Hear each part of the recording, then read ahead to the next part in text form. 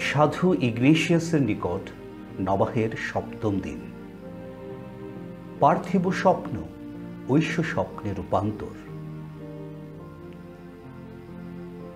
সাধু ইগনেশিয়াস তাঁর আত্মজীবনীতে বলেছেন যে, প্রথম ২৬ বছর তিনি যশ, খ্যাতি, পার্থিব সুখের পিছনে ছুটেছেন। ছুটেছেন গৌরবময় সৈনিক জীবনের পিছনে। এই গৌরবময় সৈনিক জীবনে সারা বিশ্বকে জয়লাভ করাই ছিল তার একমাত্র মূল মন্ত্র। কিন্তু মন পরিবর্তনের পর তিনি সামরিক সৈনিক থেকে খ্রিস্টের খাঁটি সৈনিক হয়েছেন। আর জীবনে যা করেছেন, যা করতে চেয়েছেন, সবই ঈশ্বরের মহত্তর মহিমা প্রকাশের জন্যেই করেছেন।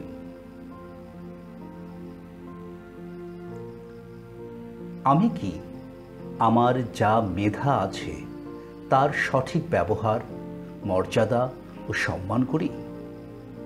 আমি কি আমার মেধা নিজের জন্য ব্যবহার করি? নাকি ঈশ্বরের গৌরবের জন্য তথা মানুষের কল্যাণের জন্য ব্যবহার করি? সাধু ইগনিশিয়াসের নিকট নবাহ প্রার্থনা। হে স্বর্গীয় পিতা, প্রথম জীবনে সাধু ইগনেশিয়াস ছিলেন একজন সামরিক সৈনিক।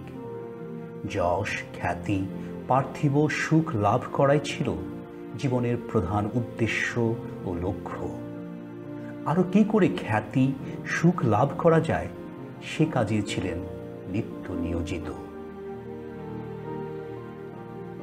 তারপর পাম্পেলোনা যুদ্ধে কামানের গোলা, ভঙ্গুর পা, লয়লা দুর্গে খ্রিস্টের ও সাধু সাধ্যের জীবন পাঠ আর মন পরিবর্তন তাকে করে দেয় সামরিক থেকে তোমার পুত্রের যোগ্য সৈনিক।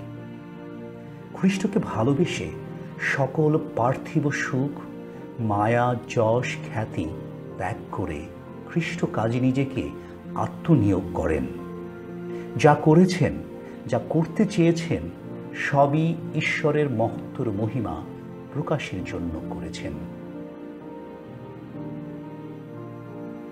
হে পিতা সাধু ইগনেশিয়াসের মতো আমাদেরও একই স্পৃহা, অনুপ্রেরণা, শক্তি দান করো, যেন পার্থিব মোহ থেকে নিজেদেরকে দূরে রাখতে পারি এবং খ্রিস্টের যোগ্য সৈনিক হিসেবে ঈশ্বরের মহত্তর গৌরবের জন্যে নিজেদেরকে নিবেদন করতে পারি।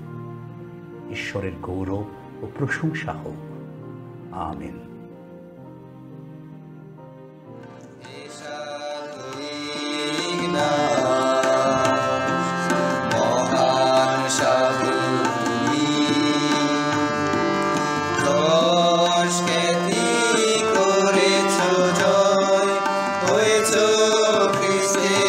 soy